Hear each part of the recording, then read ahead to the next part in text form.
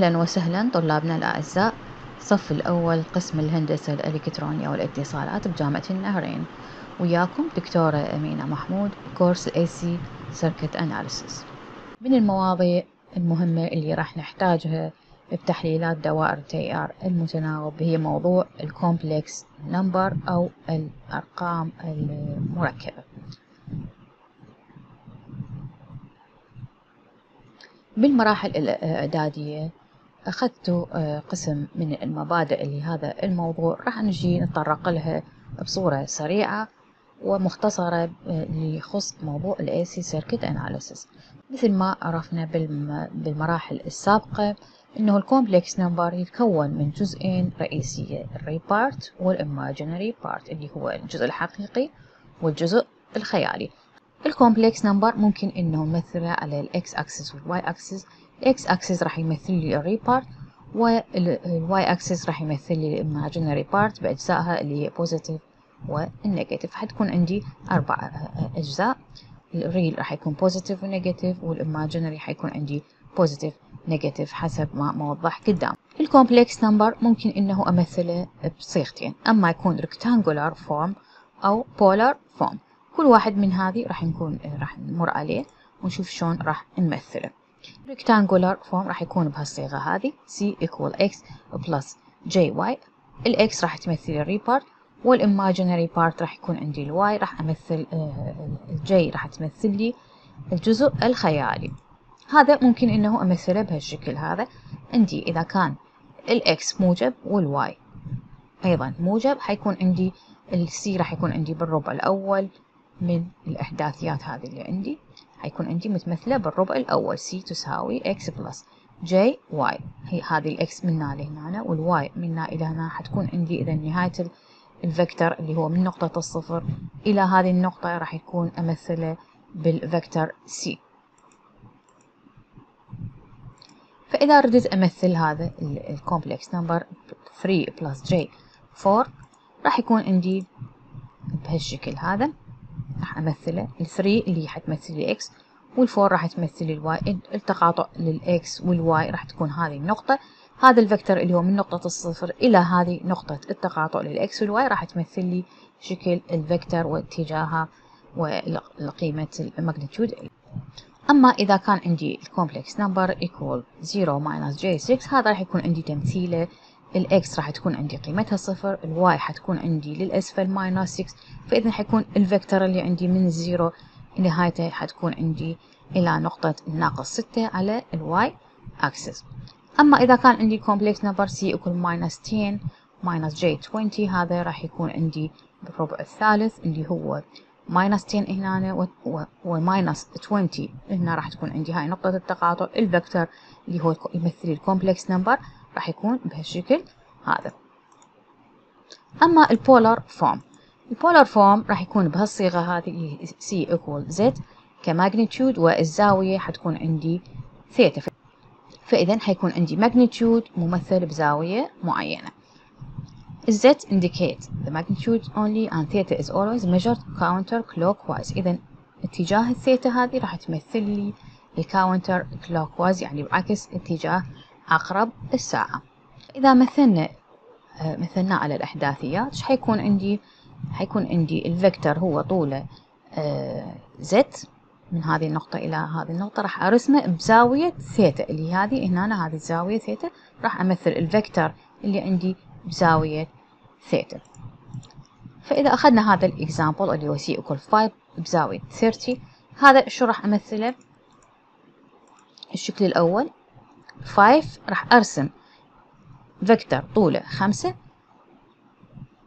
وبزاوية 30 درجة. هذا حيكون عندي ال vector c equal 5 بزاوية 30 أما إذا كان عندي ال vector 7 بزاوية minus 120 راح أجي أرسم. بما أنه الإشارة سالبة فراح إشارة الزاوية سالبة فراح أرسم ال vector اللي هو طوله 7 بزاوية بزاوية 120 لكن حتكون بما أنه الإشارة سالبة راح يكون clockwise direction.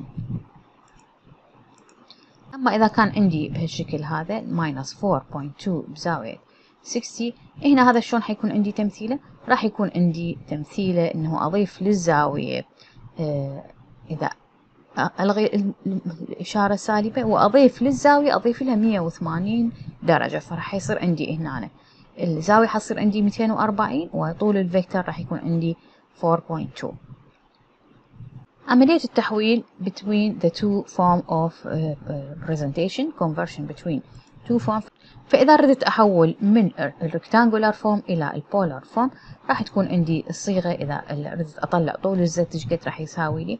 راح يساوي لي imaginary part real part square plus imaginary part square under uh, square root. والثيتا حتكون tan inverse y over x. وهذا من ماخذيها ماخذيها من هذا الشكل إنه إذا كان عندي نقطة ال complex number هي x x plus y j y حتكون هذه النقطة.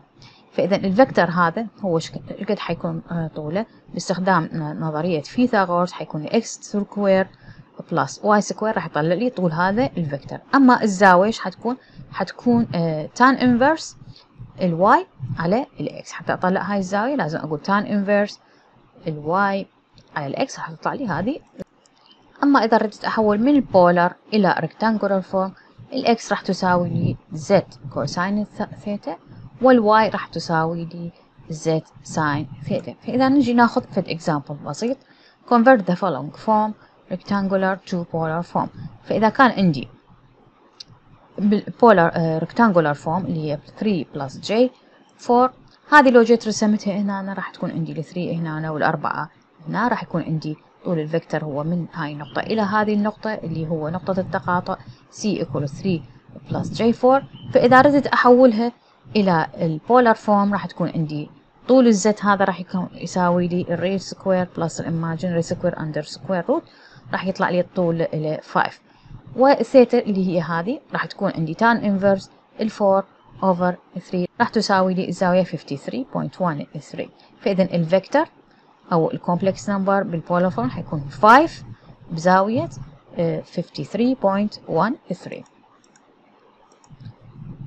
أما إذا ردت أحول من ال polar form to rectangular form لهذا الشكل ال form هذه راح يكون عندي ال x تساوي لي آخذ طول ال vector هذا cosine x راح تساوي لي 10 cosine 45 degree راح يطلع لي 7.07 وال y تساوي لي z اللي هي 10 sine الزاوية اللي هي 45 degree راح يساوي لي 7.07 فال vector حيكون عندي أو ال complex number راح يكون عندي 7.07 plus j 7.07 هذا لو جيت مثلته راح يكون بهالشكل هذا.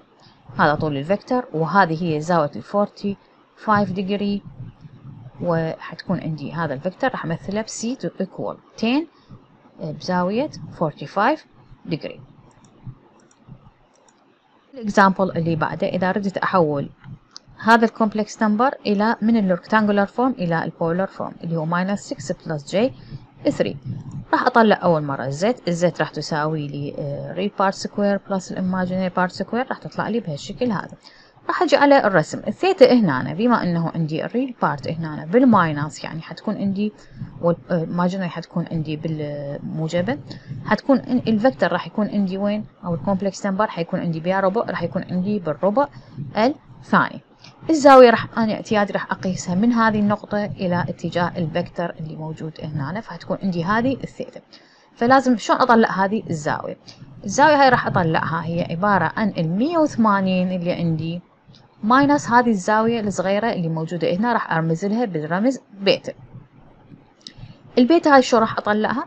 راح tan inverse 3 over 6 يعني tan inverse 3 over 6 راح تطلع لي البيتا. إذا الثيتا شو راح تساوي لي هنا؟ راح تساوي لي 180 minus البيتا اللي هي 26.75 راح تطلع لي الزاوية هنا. أنا انتبه إنه 153.43 degree فإذا لازم ألاحظ إنه راح لازم تكون عندي. بيا ربع ارسم بيا ربع راح يصير عندي ال complex number حيصير عندي. وأشيك أشوف الزاوية وين حيكون مكانها. فراح تطلع لي ال C تساوي لي 6.71 بزاوية 153.43 ال example اللي بعده أريد أحول هذا ال complex number من ال polar form إلى ال rectangular form هذا راح أجي أرسمه.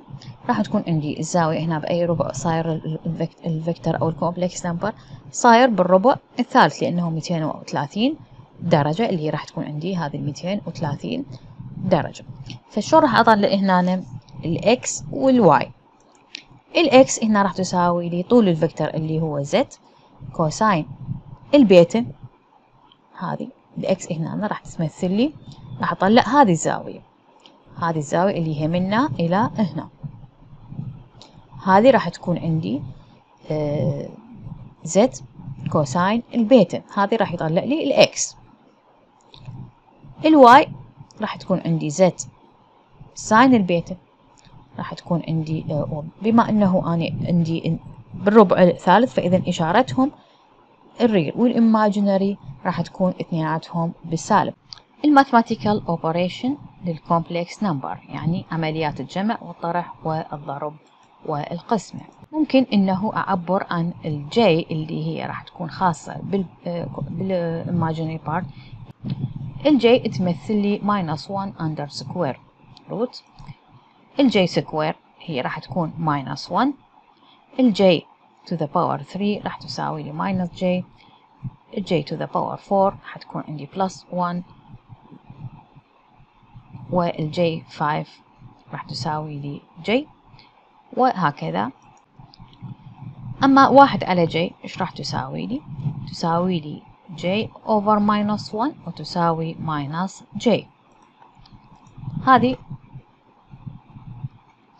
هذه الكميات لازم أعرفها حتى أقدر أطبق عليها ال mathematical operation لل complex number conjugate complex conjugate راح أمثله بهالشكل هذا. يعني أنا إذا كان عندي C تساوي لي 2 plus J 3 ال complex conjugate مالته أو ال conjugate راح يكون عندي 2 minus J 3 يعني أعكس اتجاه ال imaginary part فإذا كان موجب حيكون سالب وإذا كان سالب حيكون موجب ال conjugate له فإذا كان عندي C equal 2 بزاوية 30 هاي إذا كان عندي بال polar form ال conjugate له راح يكون عندي 2 بزاوية minus 30 degree. فإذا كان عندي إذا بال polar form إذا بال, بال فإذا كان عندي بال بال rectangular form راح أعكس الإشارة لل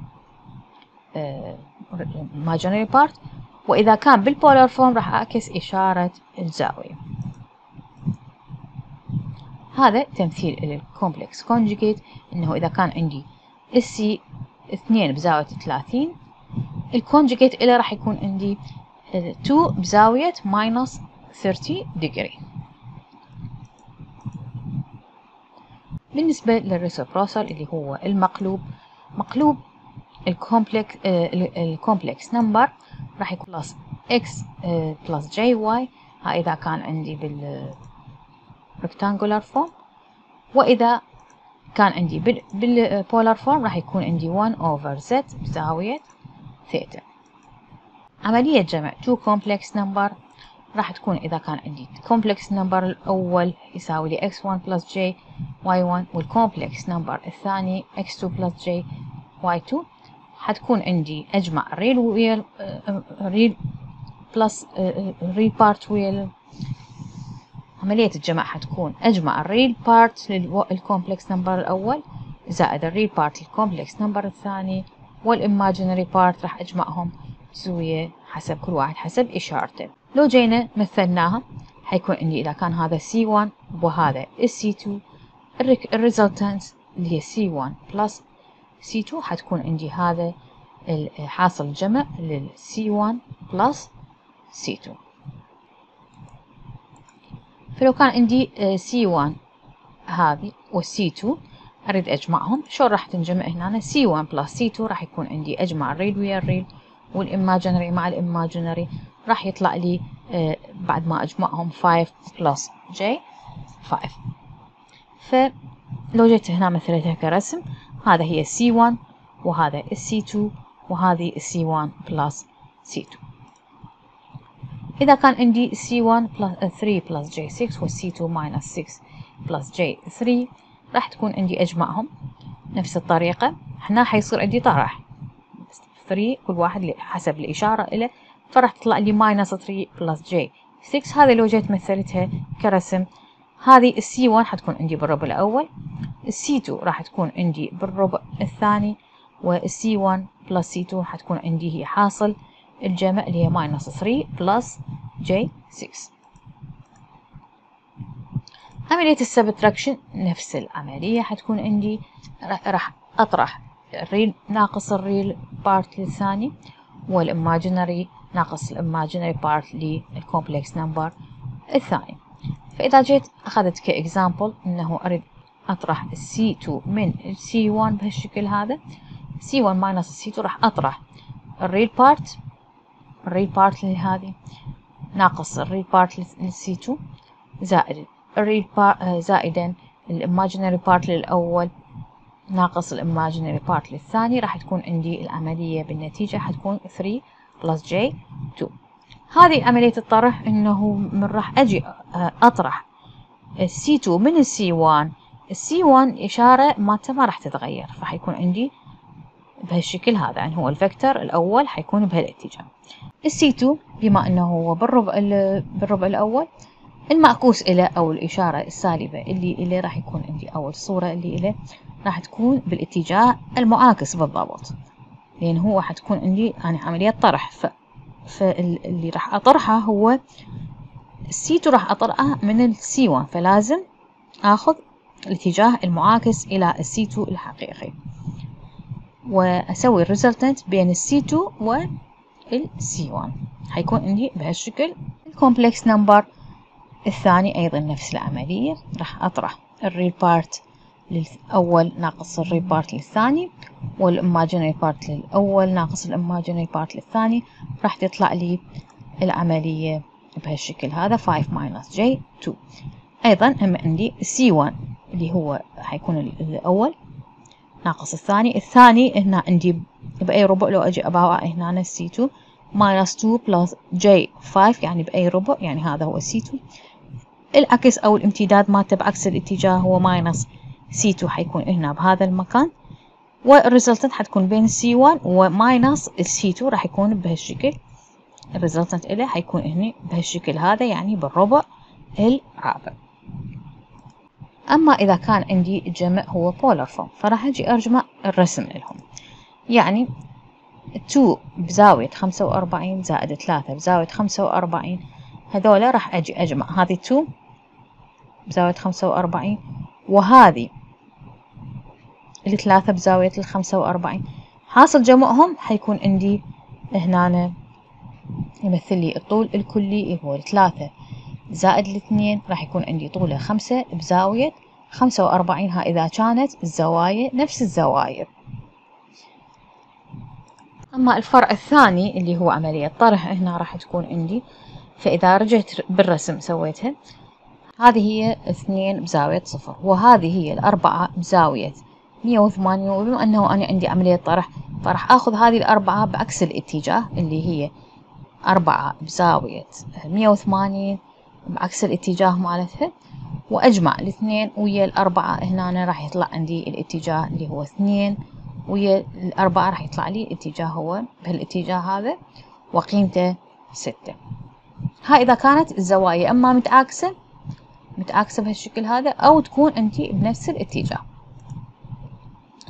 عملية المالتيبليكيشن حتى أضرب two complex number أما أستخدم الطريقة المطولة اللي هي C1 في C2 راح أضرب كل جزء حتكون كل جزء الريل ويا الريل والإماجينري والإماجينري الثاني والإماجينري الأول في الريل بارت والإماجينري بارت للثاني. فحتكون عندي النتيجة راح تكون عندي.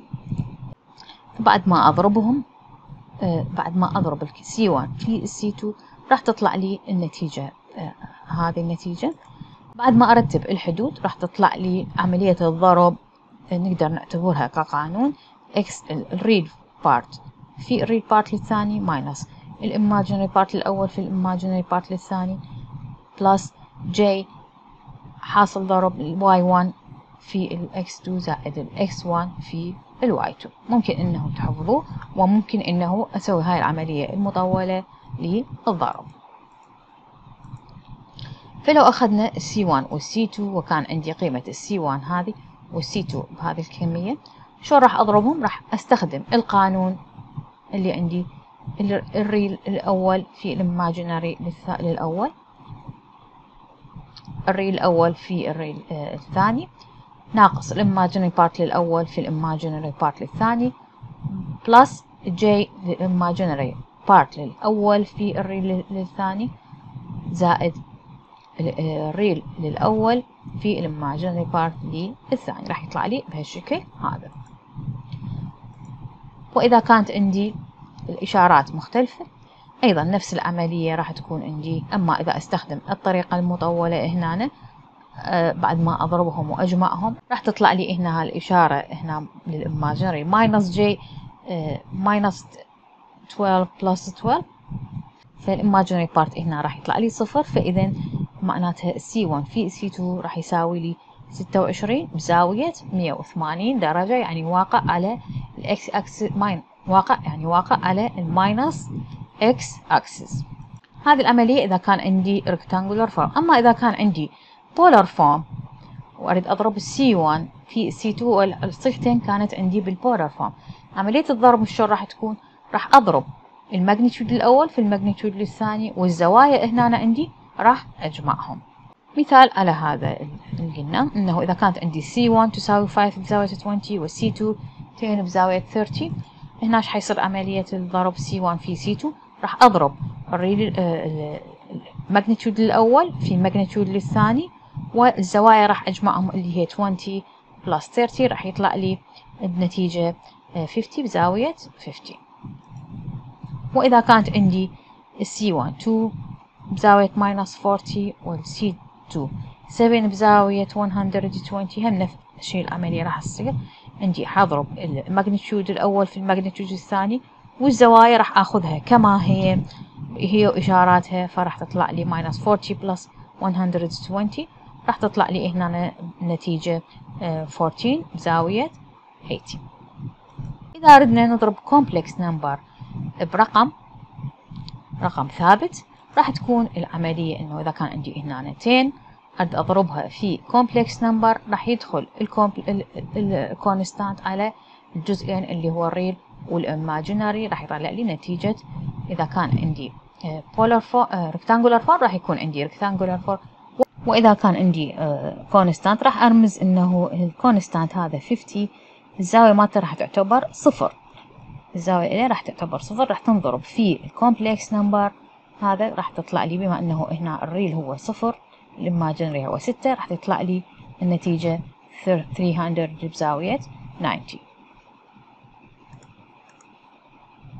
عملية ال division أيضا راح تكون عندي عملية آه راح أقسم السي 1 على السي 2 آه هنا راح أتعامل ويا راح أضرب في المرافق إليه ال complex number فراح تطلع لي النتيجة هنا. C1 over بعد ما أضرب وأقسم راح تطلع لي النتيجة. C1 على C2 راح تساوي لي ال real part حيكون هذا. المفهوم اللي هو حاصل ضرب بال complex number لل real حتكون عندي حاصل ضرب ال real آه الأول في ال real الثاني زائد ال imaginary part الأول والثاني. على C2 الريل بارت للسي 2 سكوير زائد الإيماجينري بارت للسي 2 سكوير والإيماجينري والإيماجينري بارت هنا راح يكون حاصل ضرب ال real part للثاني في ال imaginary part للأول minus ال real part للأول في ال imaginary part للثاني على المقام هو حيكون نفس المقام اللي هو ال real part للثاني square زائد ال imaginary part الثاني square فإما تستخدمون هذه الطريقة المطولة للقسمة أو أستخدم القانون مباشرة.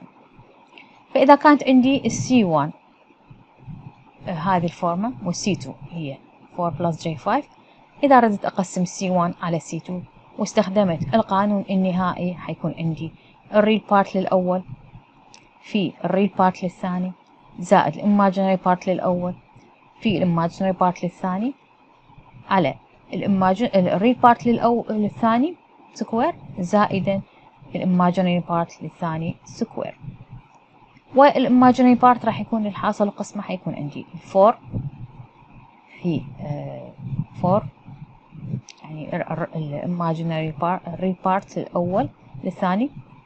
يعني ال real part للثاني في ال imaginary part للأول. ناقص.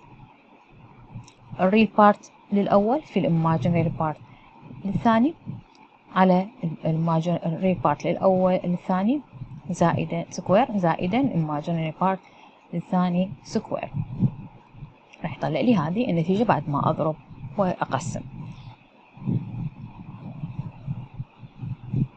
ما إذا أردت أستخدم عملية القسمة المطولة راح أجي أضرب C1 في C2 conjugate C1 في C2 conjugate. راح تطلع لي هذه النتيجة. وأضرب وأضرب C2 في C2 conjugate راح تطلع لي هذه النتيجة. بالنتيجة حيكون عندي C1 over C2 الماينس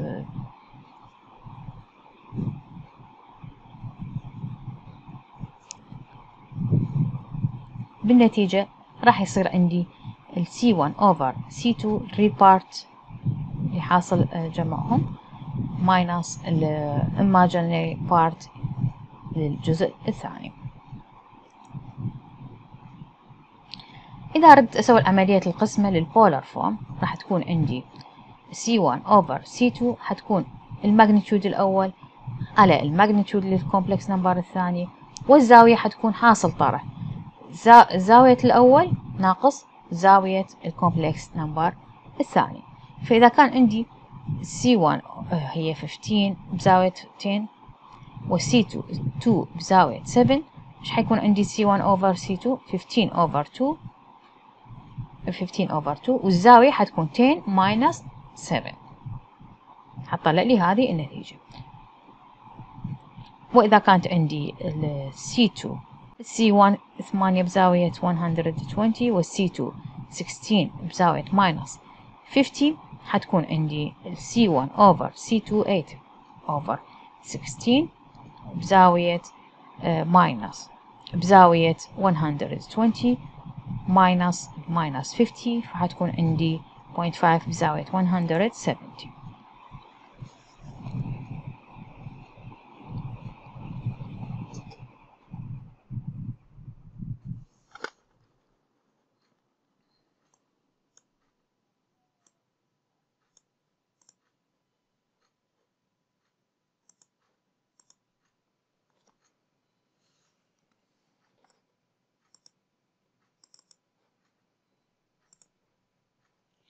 100.5 170.